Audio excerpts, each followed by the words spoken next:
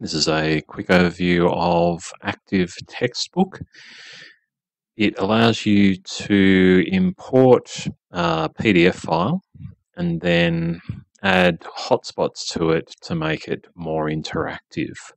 You do need to uh, create a login to access the files, but that's a free process. So what we've got here is a PDF for one of our um, eLearn guides. And what I've done is added a couple of hotspots already. So you'll see up here, uh, if I mouse over this one, I can see comments that other people have posted and someone else has posted a comment. They weren't sure whether they could see it or not. Um, so I'll just say I can see it.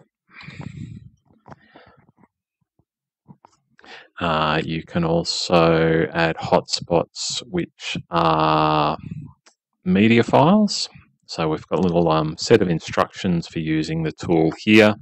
What I can do is uh, click on that section and actually bring down a video guide um, to that tool. Um, there's another comment pop down here. And then if I go to the next page, there's also the option to add um, short quizzes. So we've got just a uh, question about a particular feature that's noted in here.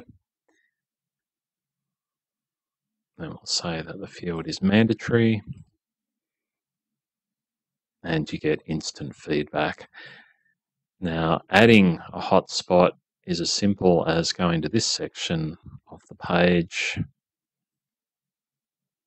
selecting the kind of hotspot that you're wanting to add. And then maybe, um, let's say we're going to draw something over this part of the um, PDF.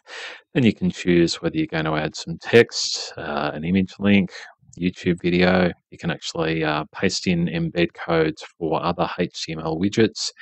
You can have an image appear, as I say, a video, audio, or a, uh, a file attachment. Let's just put some text in. Say that's hi.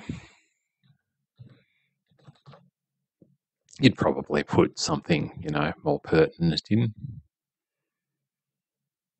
And just click create. And now, if we go back to normal use, we can see that as soon as the user clicks on that section of the PDF document, they get the text.